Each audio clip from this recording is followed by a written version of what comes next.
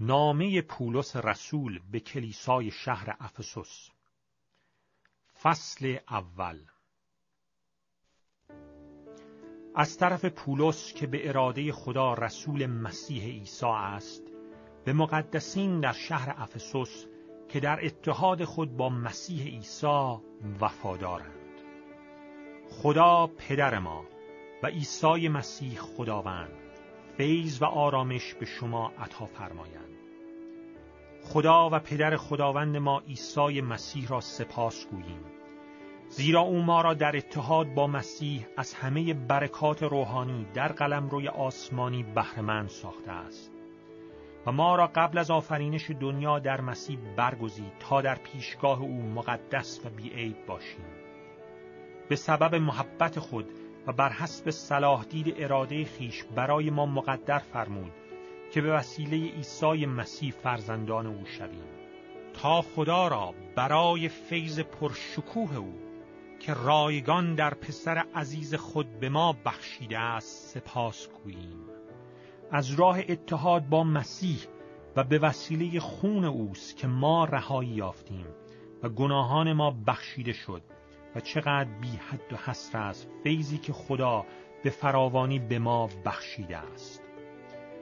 خدا آنچه را که منظور نظرش بود به جای آورد و نقشه نهان خود را که قبلا در شخص مسیح تحقق یافته بود با دانش و بینش بر ما آشکار ساخته است.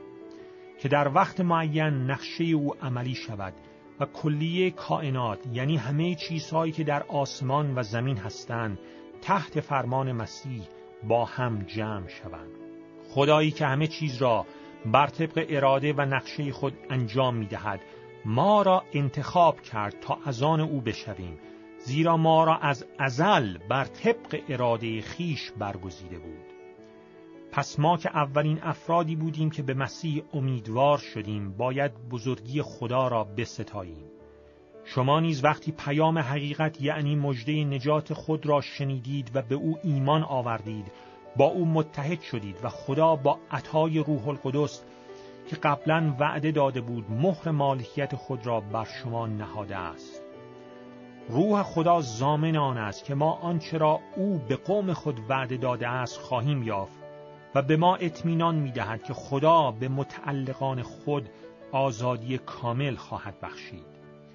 پس جلال و شکوه خدا را بستاییم به این سبب اکنون که از ایمان شما به عیسی خداوند و محبت شما نسبت به همه مقدسین با خبر شدم از سپاسگزاری به درگاه خدا به خاطر شما باز نمیستم و شما را در دعاهایم به یاد میآورم.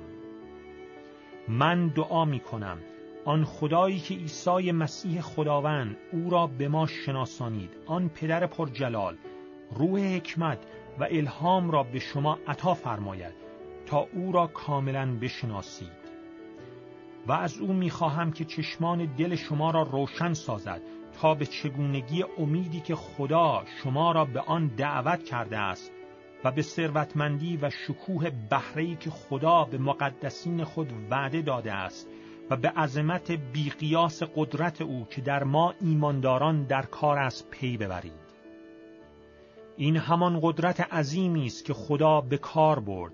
وقتی مسیح را پس از مرگ زنده گردانید و در دست راست خود در جاهای آسمانی قرار داد و او را مافوق هر سلطه و اقتدار و قدرت و پادشاهی و هر مقام دیگر که بتوان ذکر کرد نه تنها در این دنیا بلکه در دنیای آینده نیز قرار داد خدا همه چیز را زیر پای مسیح نهاد و او را رأس کل کلیسا ساخته است کلیسایی که بدن اوست و تمام وجود او را در بر می‌گیرد و در این حال تمام کائنات را با حضور خود پر می سازد.